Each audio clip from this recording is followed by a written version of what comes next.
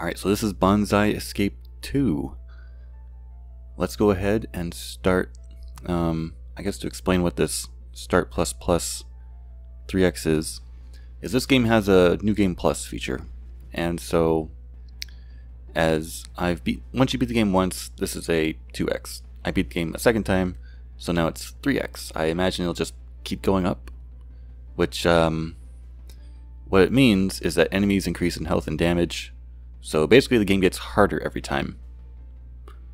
Um, and that is a bit of a problem for me uh, that I see because I've already gotten to like the weapons themselves don't have an infinite growth like this apparently does. So I imagine this game would get eventually so tough that I don't know.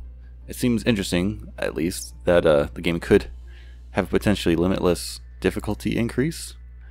Now, different about this game from the first one is that you do get to choose who you play as. And what's neat is that whoever you don't choose will still be with you to uh, assist you. So let's go ahead and pick Rokihi from uh, main character of the first game. Benchi is uh, our captain. Let's go ahead and start. Now, the first game was an on-rails cover-based shooter. Although this game is not that. It is a third-person shooter. Now this this is just going to be a sort of short recap of the first ending of the first game, but we can skip this opening cutscene, which I'm going to go ahead and do for review purposes. Don't want to make the video too long. And skip this one.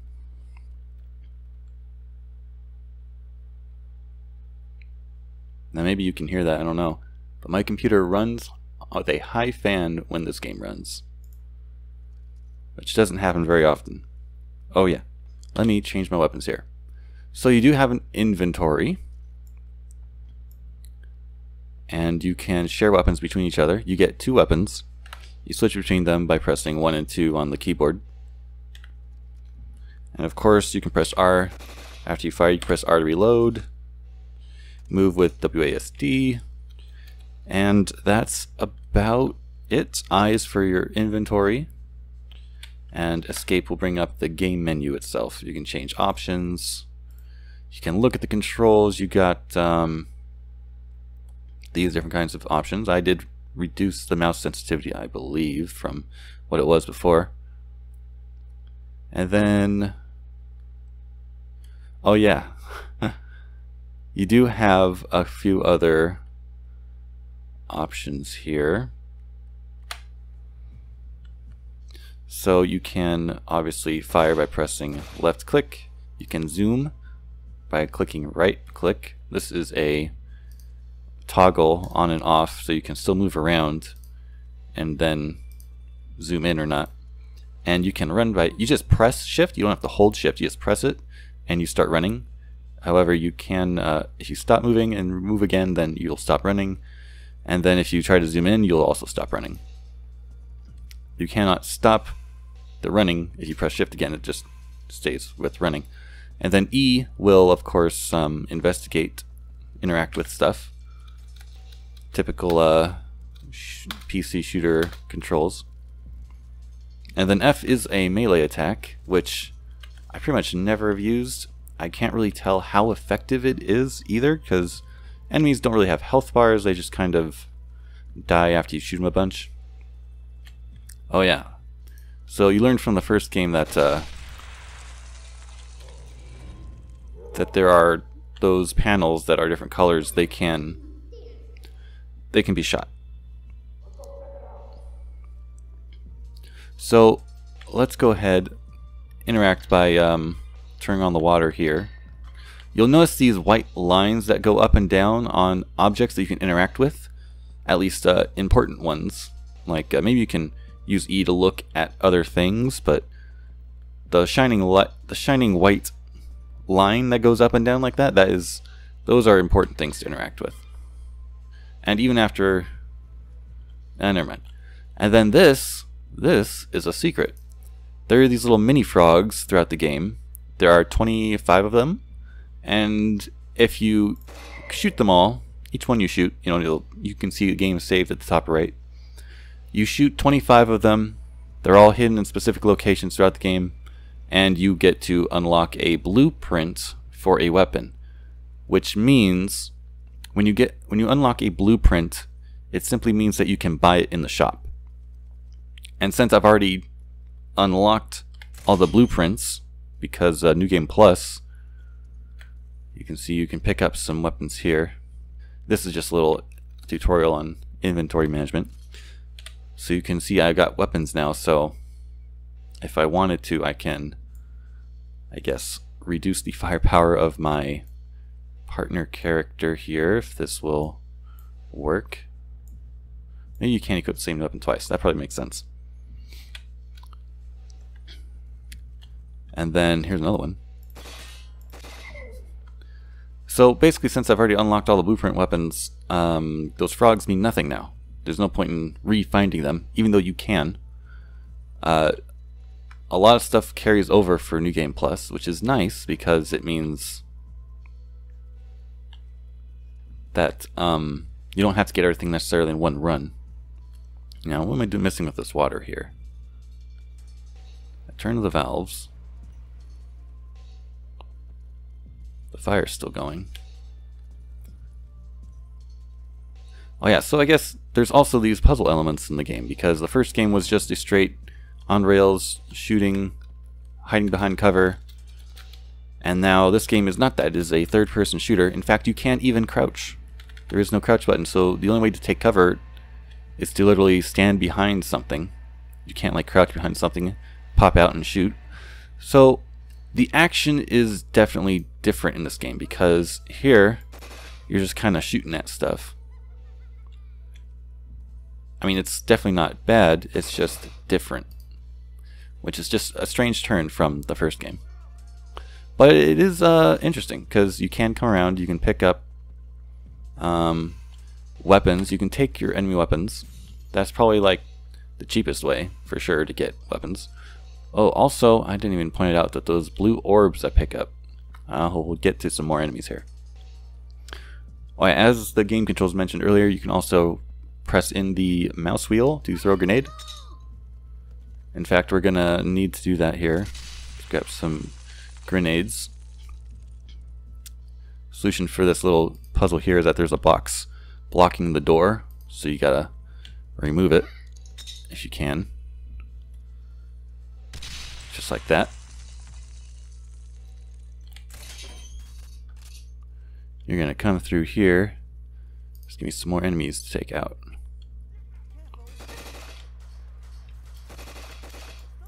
Of course, you got to reload. So yeah, your partner does help out and attack. Oh, that guy's coming upstairs.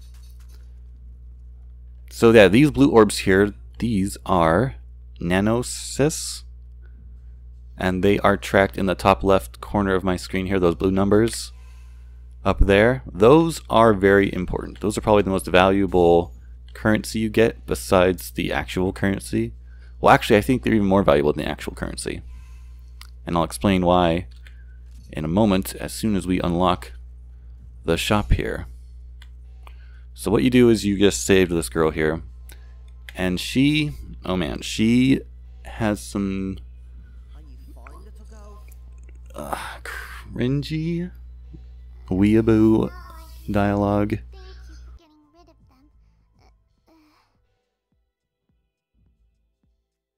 Oh, you'll see what I mean in a second here. What did you say? Also, Rokihi, she has probably the worst voice acting in this game. Benchy, he sounds totally fine. Uh, nothing now you remind me of Mr. Betas who keeps saying same thing to me last time. Also, Mr. Betas, who was a primary primary character in the first game, he's not even in this game. He gets mentioned a few, a few times, but uh, he's nowhere to be found in this game. You really need to be taught some manners. Calm down, Rakihi. Also, Benji, while his acting is probably the best in this game, his recording quality is not great. There's a lot of pops, a lot of p-pops, if I can pop, pop, pop, like that. You hear a lot of that in his recordings. She probably misunderstood something about us. But sir, her foul mouth is too much. That's cute about her, right? She's just a kid. Give her a rest, will Now you? here, she- here she comes. I'm not a kid, Konobako-ni-chan, There you go. That's really all you need to know about her. She's gonna talk more like that. Uh, What did you call my captain? Oh man, Rikihi. Ah, Tasuke-oni-chan, that monster is super scary. So thankfully we can just mash spacebar to pass through dialogue. I'm. Are you? yeah, by the Oh, well, Rick- That and the. hmm. So what we're going to do here Oh, I'm. So. Yeah, I'm. in Chester, she you see her a bunch throughout the game because she is the shop owner, so you got to interact with her a lot. But she doesn't have to have a whole lot of dialogue Why won't it open? as um, oh, the powers. The cra- when you just go to Yeah, shop. No op-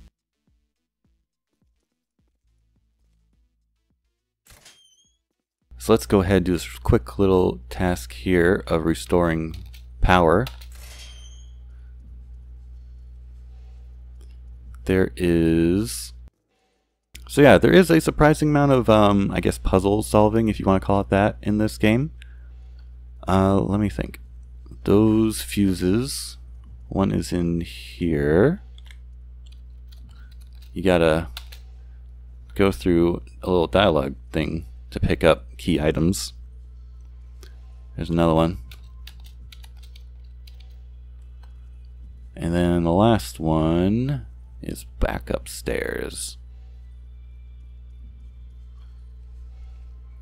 So yeah, this game, um, this is just the first area.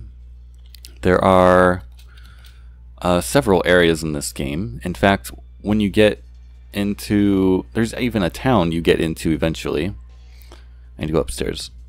That is pretty big. It's a pretty open area. There's not necessarily a whole lot to do. There are side missions you can take. It's like there'll be a couple of people out there with some optional side quests that they request, which you can take on to basically just get money, which is good for buying new weapons, upgrading your weapons, which I will show once we unlock the shop here. But yeah, you can check out the trailer on the Steam page to see that there are other areas and and it, what they look like. Just trying to say that there are bigger areas in here. This is probably the smallest area in the game. This one area here, the first area, which you know makes sense. The game only gets bigger as you go through it. Whoops. Out of my way, Benchy. So turn on the generators, power's back on, which means we can now use the elevator to get to a new floor. And that computer. And we can use the shop.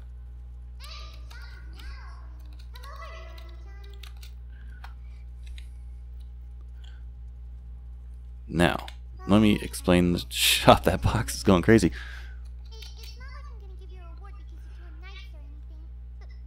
Oh my gosh.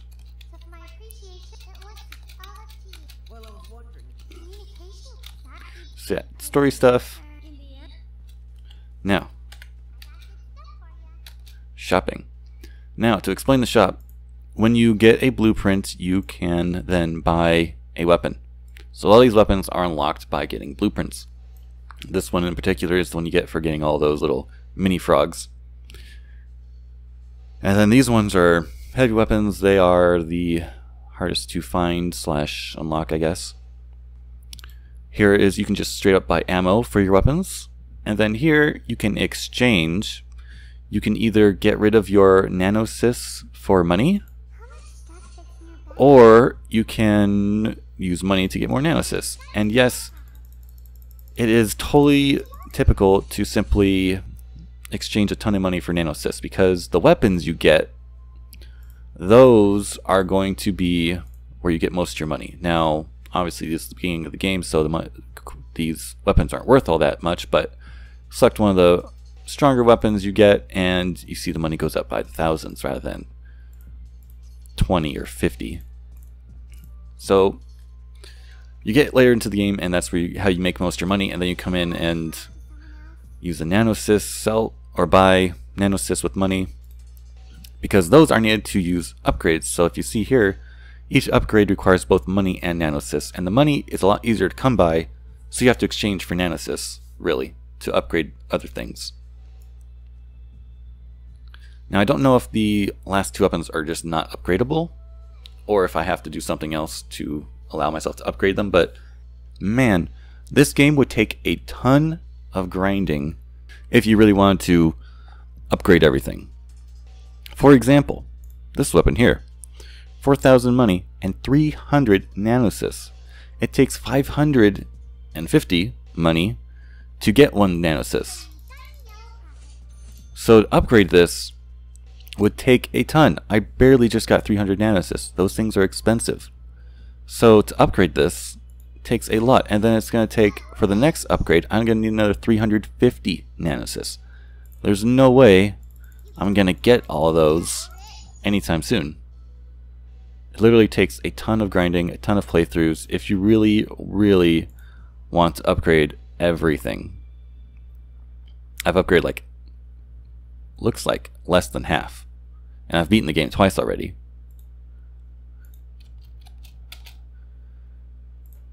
So that's just upgrading the weapon's firepower.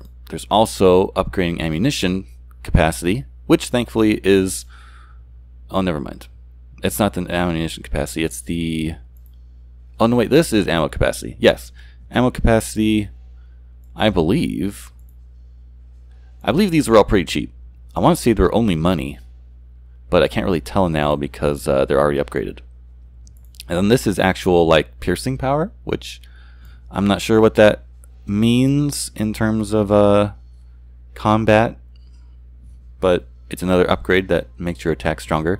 And then down here, these are totally worth getting. Uh, totally worth saving up for this. This is health increase, and then this is a capacity inventory capacity increase. This is totally worth getting, so that way you can carry up to 30 things in your inventory rather than just the 15 you can carry it to start with.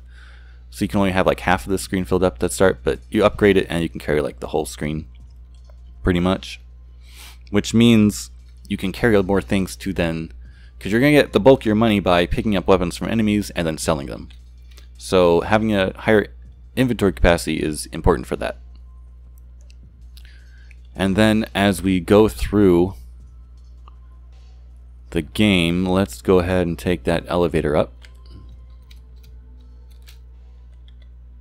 Yeah, ground floor is not the same as first floor here, interestingly. Second floor is the new floor we can go to now. Oh my gosh, camera just starts looking at them with their mouths open like that. Silly. So here, you go through the level, and you're going to run into more enemies me switch to weapon with more ammo. Should go through here. So yeah, you know what? It's kind of unfair for me to be using this endgame weapon. Let me pick this up. You can't pick up weapons when you're reloading, just for reference. That's why I had a problem there.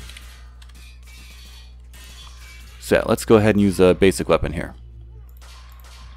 So yeah, obviously later on you get more powerful weapons. Oh!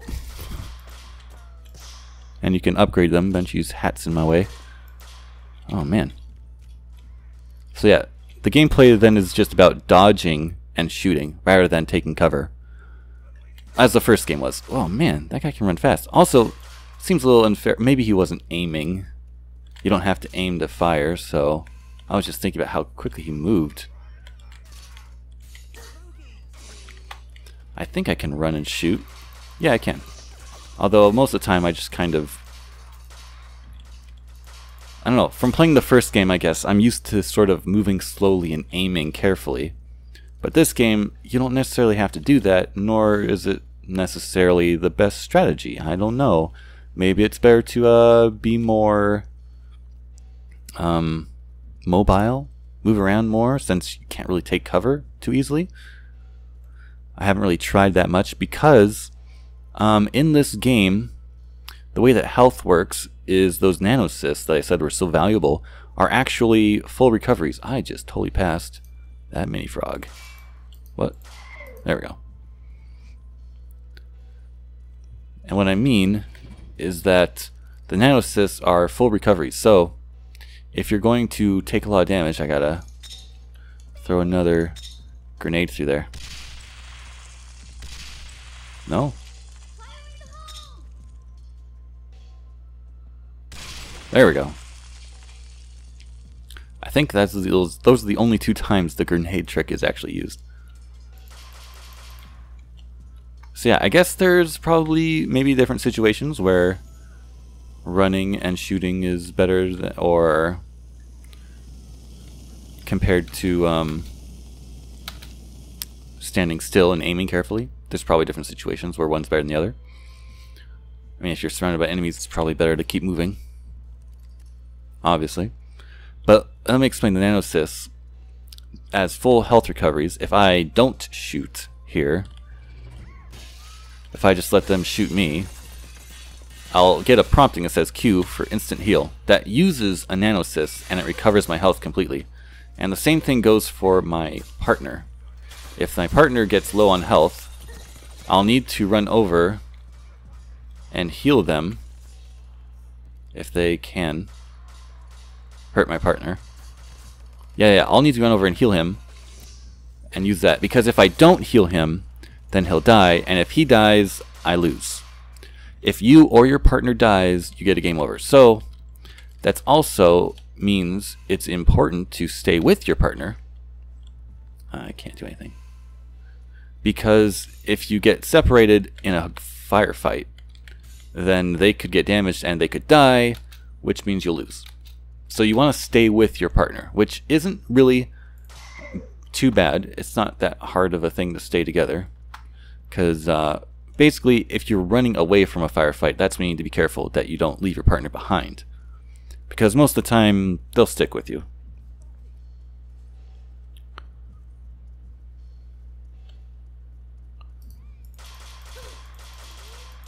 Bam. Obviously in a corridor I probably want it's probably best to just stay slow and shoot because you don't have a lot of room to uh, run around to avoid shots. But if you're in a more open area, maybe it's better to uh, run around more. I haven't really uh, tried that a whole lot. Mostly because I'm too used to playing like the first game where you take careful aim. Anyway, another comparison to make is that the first game I spent no more than 4 hours on to get all the achievements. This game, it doesn't have achievements, which is weird because the first game had achievements, but also, this second game, it's easily twice as long as the first game, probably more like four times as long. I've spent I spent 12 hours on my first playthrough. I didn't have to. I was looking for frogs to unlock the blueprint and I was grinding to get more loot to, you know, try to upgrade my stuff. So it really doesn't take 12 hours to beat this game through. It probably is more like 8.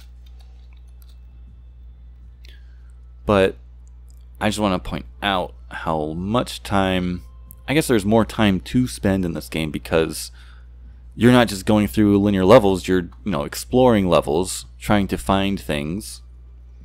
So there's a lot more involvement in what you do. Also, just the freedom of movement is like a welcome addition because it's it's weird because playing the game, I think it's more fun to have like full movement to be able to move around an environment.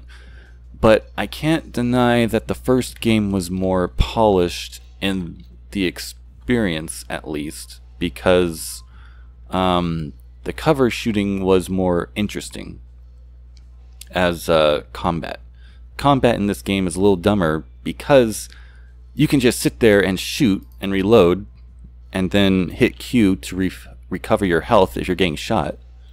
Um, basically you, you, don't have to take cover. Obviously, there are still benefits to taking cover because you don't have to use your nanocyst, which is your most valuable thing. That's 550 gold per pop every time you use one of those.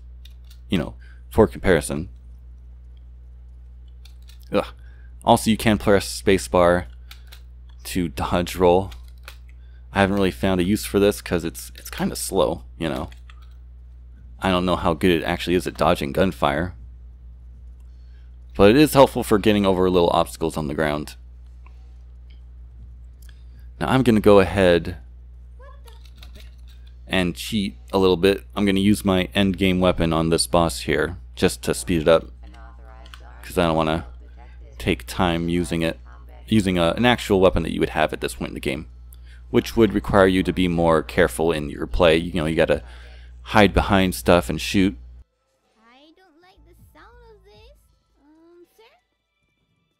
Again, Rikihi with her voice acting.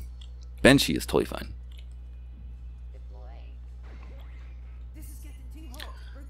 Now, if you remember from the first game, white means it doesn't hurt yet. And once it goes blue, then you can hurt it.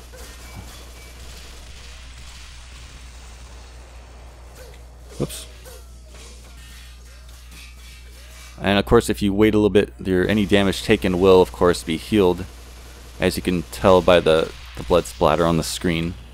That just means you've taken damage. And of course, you also want to be sure to go around and pick up all the money, nanosys, which I don't know adds a little bit of uh, tedium to the game. Just um, have to go around and pick things up. Also, you can just run over money and nanosys to pick it up, and ammunition, but weapons themselves you have to manually look at and press E to pick up. Now I wanted to get past that part just so I can show you the next area to show you that there is more variety to the locations. Again, look at the trailer on the Steam page. You can see there are more locations. But this is outdoors. And there's going to be a little cutscene here, which you cannot skip these cutscenes. As you see, there's no skip option here. You just have to mash the spacebar to go through dialogue. That's a Tunguska. It That's what I hate right now. We need to try and avoid a direct confrontation with that tank. Ah, bloody hell. But we don't have much choice. Like it or not, we need to go there and look for clues. So you can tell right again the difference in voice acting between Benshi and Rikihi. But that's just what you gotta go through the game.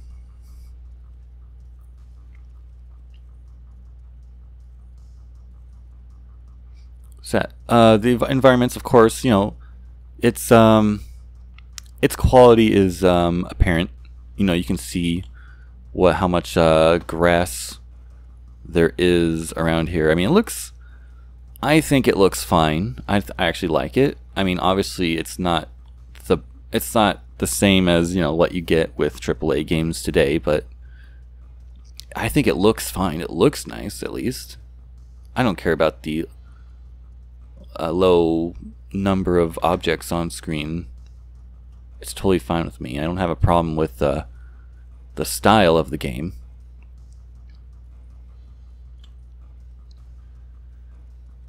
But yeah, there are great bigger areas here, as you can see. Go through these areas.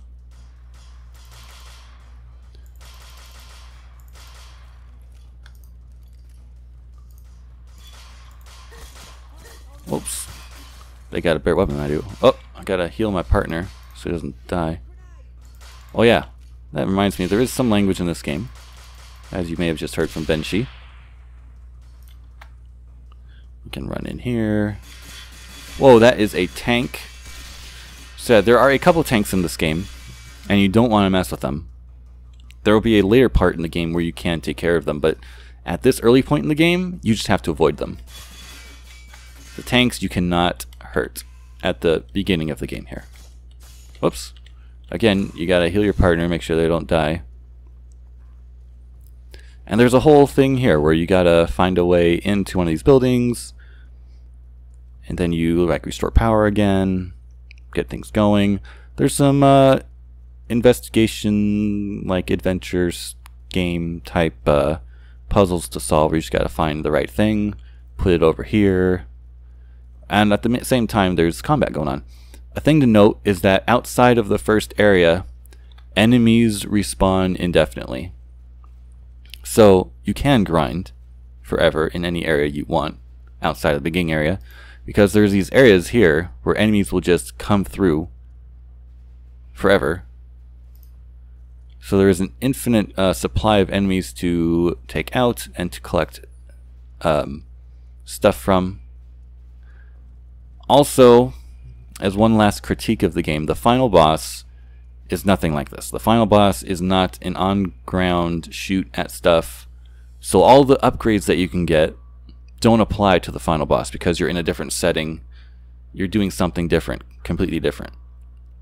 And the final boss itself is also kind of tedious. So look forward to that. But uh, the rest of the game is totally fun. I liked it.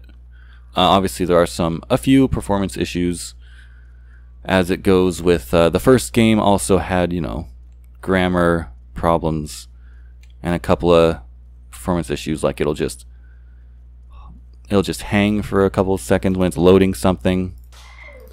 But uh, I enjoy having the exploration to do, and the and everything else that I've already mentioned. But that is pretty much the game. Uh, if you have any other questions about it, please let me know in the comments below. If you have any other recommendations of games like this, please let me know about those as well. I'd be interested in playing more games like this. And other than that, thanks for watching, and I'll see you in the next video.